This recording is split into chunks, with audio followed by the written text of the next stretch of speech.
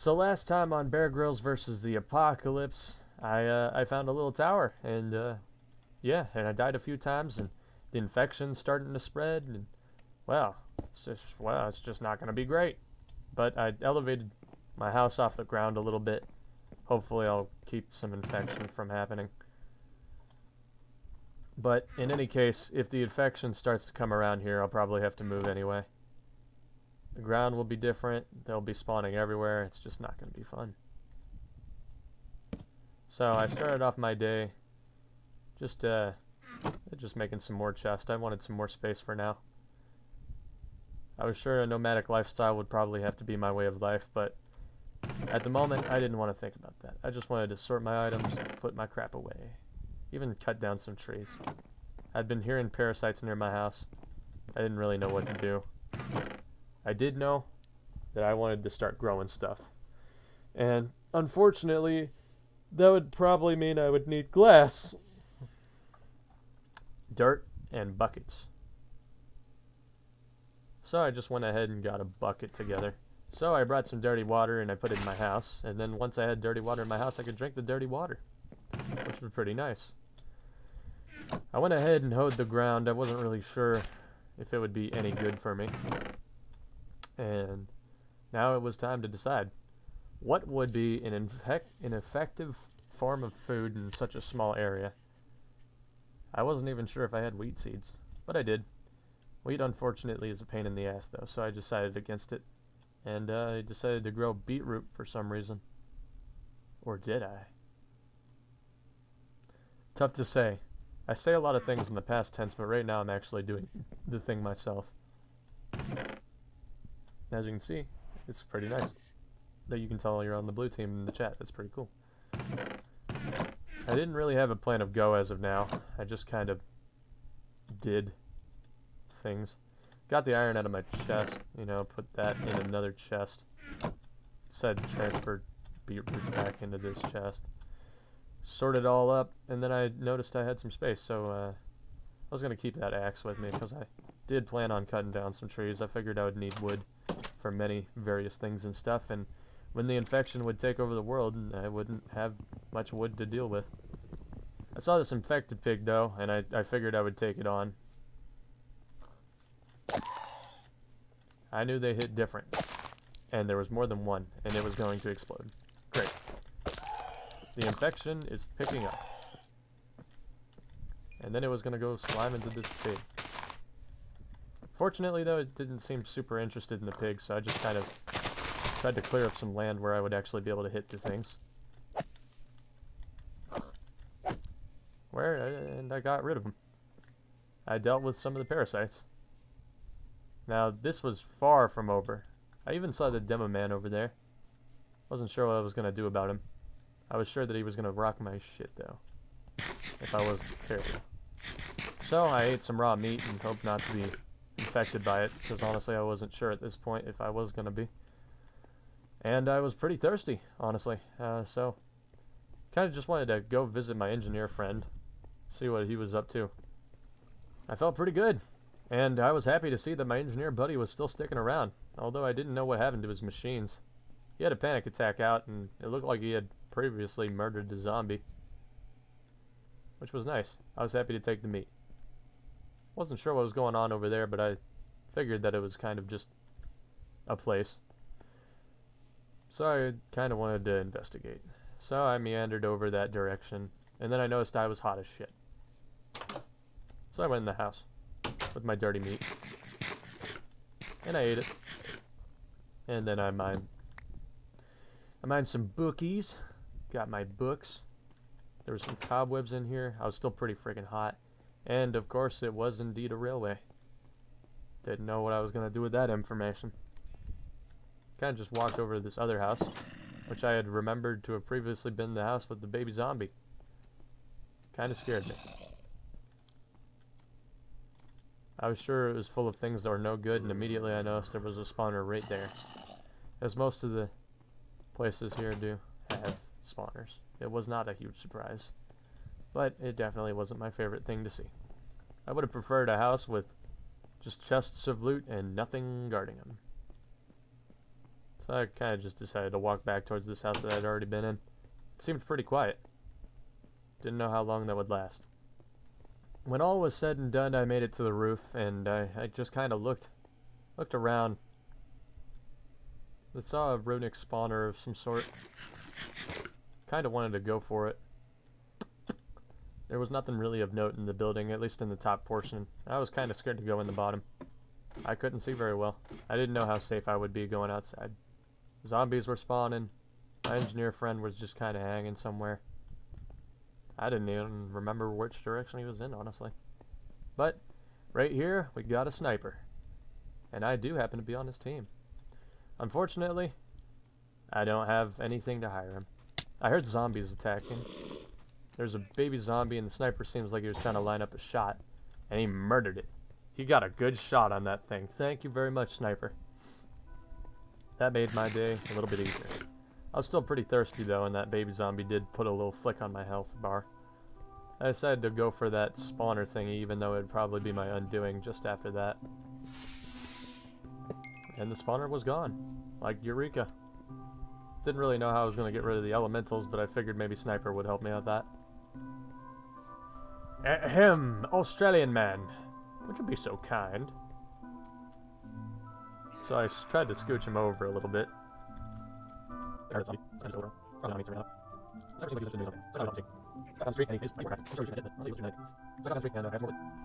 Then, I just had to lower the elementals to him. Unfortunately, I could no longer run, for I was very thirsty. I was able to knock away one of the elemental thingies. No thanks to the sniper. The sniper took a little bit of interest, but he didn't seem too interested. And when the elemental came around to stab me, I was scared, so I ran away. Then the sniper tried to line up his shot. I'm not sure if he hit, but he tried. Then the elemental, of course, ran away back to its hidey hole. And the sniper? Well, he was interested. Unfortunately, he turned around at just the wrong time for this. And his interest was no longer on said balls. He shot it, and it was dead. We were the best of friends. So I came over here and I looted the crap out of this place, getting more bombs. Always need more bombs. I was thirsty as hell, though. So I figured I should go find some dirty water. And wouldn't you know it, there's a fantastic building just over here with some dirty water. And then I, uh, well, I drank some water. I felt immediately better. I had some spectral dust and I had some pork chops. I had fought and killed a few infections. The leaves were starting to pick up though, which worried me. It seemed like a storm would come soon. I saw a soldier in the distance though. I was hopeful. Maybe it was a pyro. Let's see, sir. Who are you? Yeah, you're a soldier. Alright. There was an airstrike soldier over here, and he was down to clown. I could hear him yelling, and he was ready. Didn't really know what I honestly wanted to do over here. Just kind of wanted to hang out near the soldier. And with the wind picking up, you couldn't be too safe. I noticed there was a Taliban man in there, and I saw some fire effects, and I really wasn't sure why. What could have possibly made that little bit of fire? Was there a pyro in the building too? I didn't know. So I just bothered not to do that. I didn't really know what I was going to do with my life. In Minecraft, you typically go for the goal of the Ender Dragon, but these days you just kind of want to survive and prepare for the onslaught. Unfortunately, I didn't know if barbed wire was a thing, so I just kind of chilled this soldier for a teeny bit. I didn't know what to do. I didn't have any coal, and a sniper was starting to shoot at me. It was kind of scary. I was sure he was going to hunt me down. He was a mercenary after all. So I needed to find my friendly soldier man. If I wanted to stand up to the sniper, I would need backup. So I hanged out near Big Baby Blue over here and ate some dirty flesh. Which surprisingly wasn't dirty this time. The soldier also wasn't interested in my pursuit of happiness. I was certain for certain. So I started murdering sheep. Thankful, again, that they weren't parasite sheep.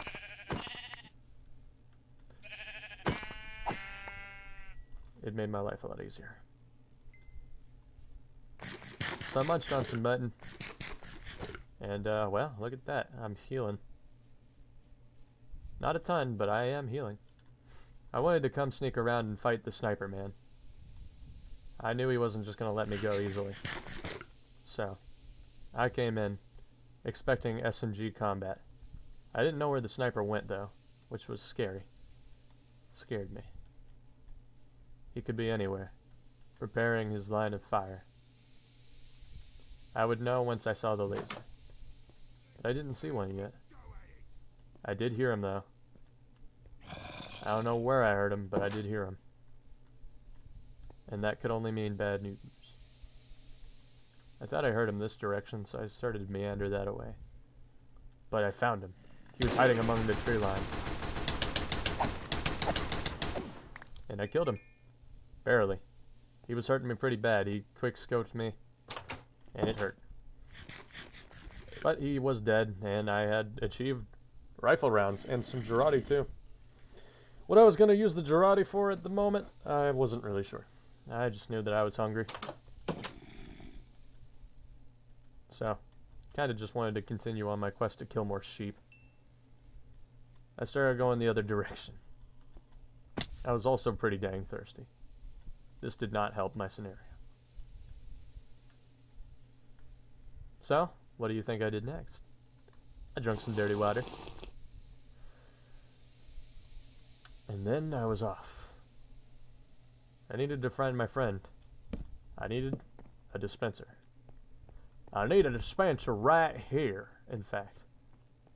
So I kind of went and looked around for where he was hanging out the last time. I didn't hear him, so I was a little bit scared. And, unfortunately, I found some pistol ammo, so I could only assume the worst. The engineer must have died.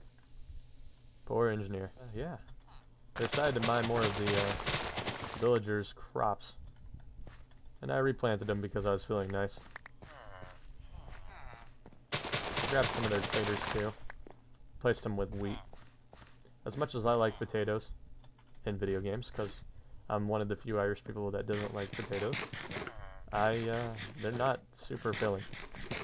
So I munched on some anyway. They weren't bad.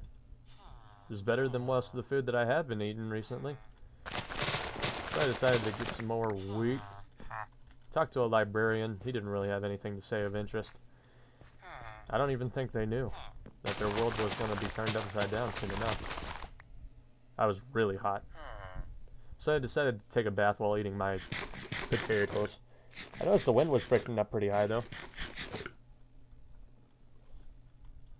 Not particularly great sign. So I chilled in the water. Got my temperature going down a little bit while I munched on some tasty food.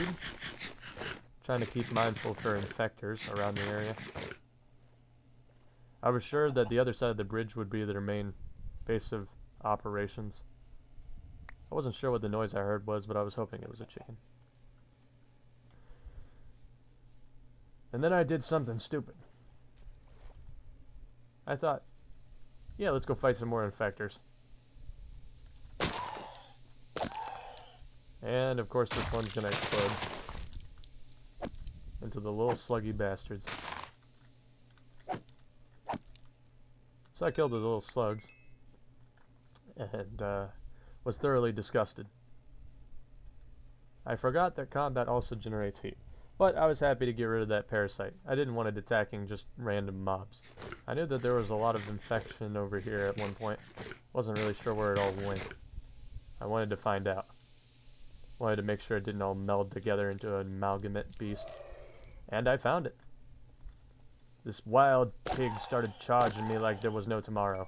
Thankfully it wasn't a bursting one. And there were more.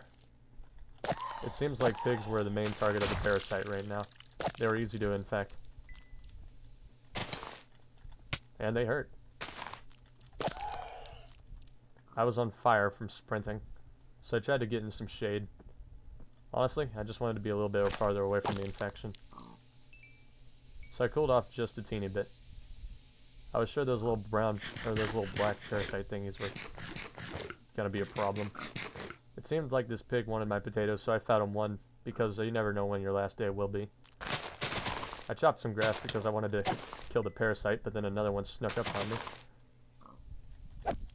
I killed one, and then I killed the other. I felt like a vigilante. I had dealt with some of the infection. I had effectively slowed the spread. But there were more pigs down there. I was also burning. The pigs were trying to surround me. I was able to kill one, and then the other. And neither of the two burst. That was lucky. To celebrate, I drank some dirty water and ate some potatoes. I saw that demo man from earlier and I thought, one day we were friends. No longer. No longer. But as I was pretty excited to slow the parasite, I, uh, well, I don't know. I just kind of decided I was going to go home. In real life, I started to feel off, which, when I deal with things disgusting sicknesses and parasites, and when I think about them, they tend to get me in a pretty bad mood, so when I started to sweat, I was probably going to be in for a night in real life. I was pretty dang disgusted. This mod was making me feel physically ill in real life already. I really didn't want to go any further with it. I decided to call it a day. So I just wanted to make it home before I did. To celebrate my way home, I drank some dirty water. And then I missed my door. Because I just wanted to get inside. Missed my door a few times. Got my door finally closed. Made my way up here.